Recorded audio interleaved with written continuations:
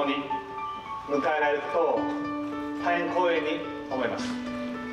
東日本大震災から6年目を迎えたわけでございますが6年間の月というのは大変困難な月日だったと思います。本日、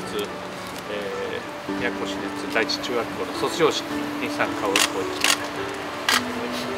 まあ、6年前はまだ中学生だった子どもたちが中学校を卒業し、えー、皆さんの笑顔あるいはリリースさに接してですね大変頼もしく嬉しい気持ちになりました子どもたちは若者は東北復興のですね、まあ、希望でありますからそうした人材育成にも全面的に政府としても力を入れていきたいと思います。安倍総理をはじめたくさんの方々に祝福していただいたのでこれからとこの気持ちを忘れずに頑張っていきたいと思います。将来は救急救命士に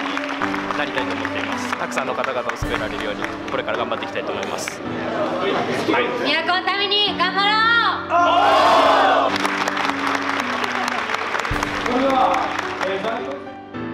う。震災以降ではですね太郎観光ホテルの視察をさせていただきましたの震災をそして津波を決して風化させてはなりません。改めて、えー最高を、えー、当時えそして、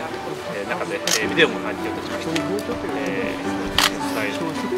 して津波の凄まじさ恐ろしさを再認識したところでございます。で政府としてもですねこの教訓を生かし、えー、防災に努めていきたいと思いますたくさんのお客様を迎えてたくさんのことを教えてそして大事に大事にずっと後世までつながっていけるように私たちもこの建物に負けないようにしっかりと努力してそして復興に向かってみんなでここから元気を発信できるように努力していきたいと思います。東北の復興をなくして、え、